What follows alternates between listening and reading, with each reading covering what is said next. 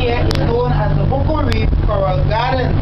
Here be giving you a description of plant fishes and possible things as we drift along. This is known as a drift stop. You find I'm speaking too fast, if I'm speaking too fast, you can tell me. Now you're going guys just want to dress around a little bit the rest can fit in. If you don't mind, just make yourself small for short while. Like a little side, just for short while. Let's dress around a bit. Let's Okay? Chile, show me my class. Jerry? Hey.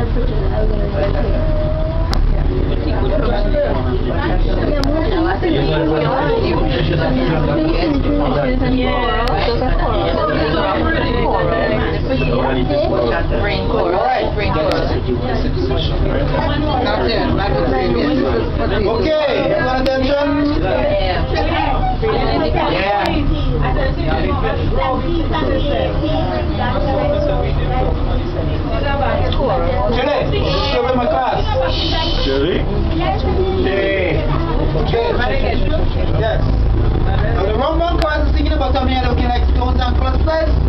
these Rumbun cars, they're known as the mountainous star corals, the mushroom coral, or locally called the potato coral, which takes about 10 years to cook.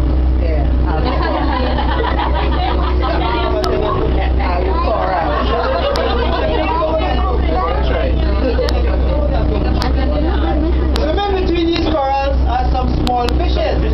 Some has white tails, some has yellow tails, and some are totally black. Now those are known as the damsel, the jewel, or the fighter fish. Should you happen to get close to the reef where those fish live, you will find them nibbling on your feet. Now they do no harm, they're just saying hello. Or some people would say stay away from my house. Right? If you want to see a long slim one looking like a stick, that's the trumpet fish. Now those fish disguise themselves by turning upside down, looking like a piece of stick or like the gorgonia plants so that the predator cannot get them.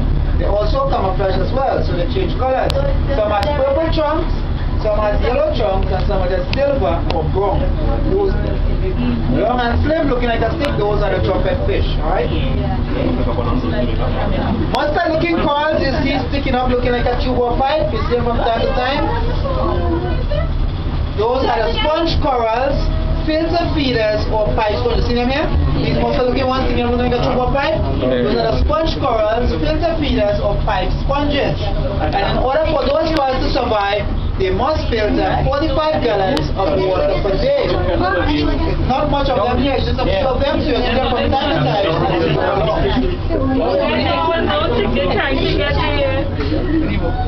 The gold corals to the white tip, the gold ones to the white tip, those are the fire corals. Should you happen to touch those corals, they will burn and blister the tender part of your skin. Now the burning lasts for 30 minutes. However, if you were to rub it off gently, the burning goes away in something like 5 minutes. We found this out ourselves. Right, see them there, the ones the white tip? Those are the fire corals, right? Right, you know. Green